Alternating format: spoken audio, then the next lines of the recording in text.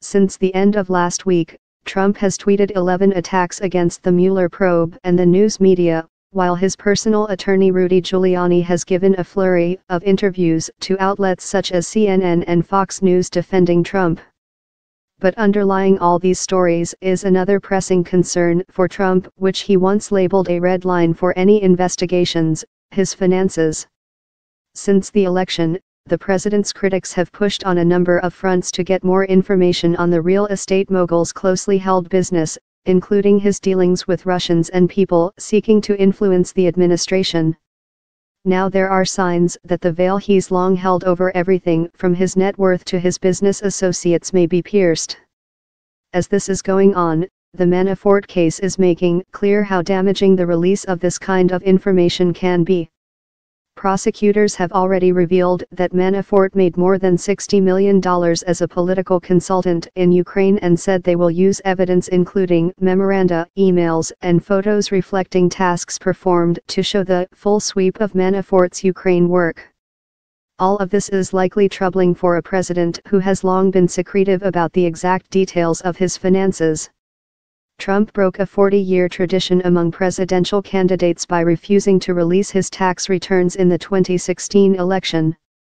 And in the past, he's been so defensive about his net worth that the suit a reporter and publisher in 2005 who claimed he was worth less than he stated, arguing in a court deposition that his net worth was based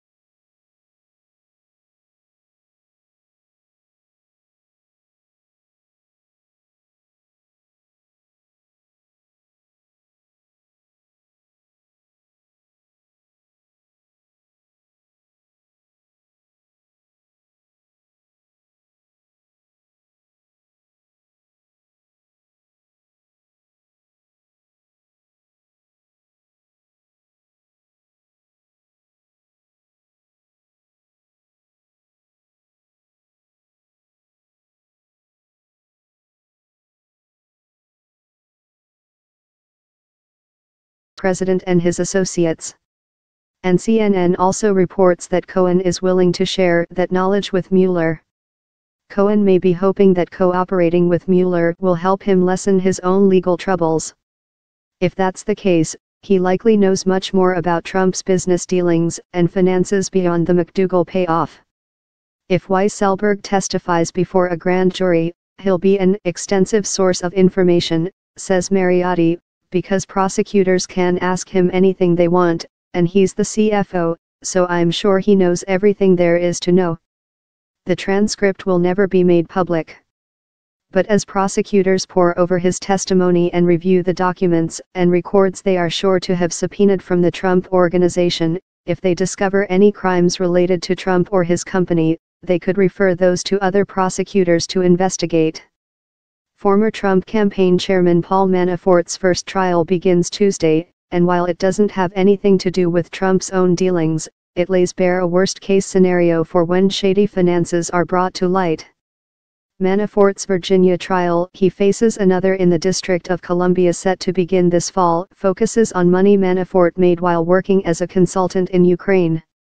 The indictment charges him with hiding millions in overseas income through offshore accounts, bank fraud, and tax evasion. The fact that Manafort's Virginia trial, the first trial to come from charges brought by Mueller's investigation, is centered on financial crimes is sure to cast any of Trump's own worries about keeping his finances private into sharper relief.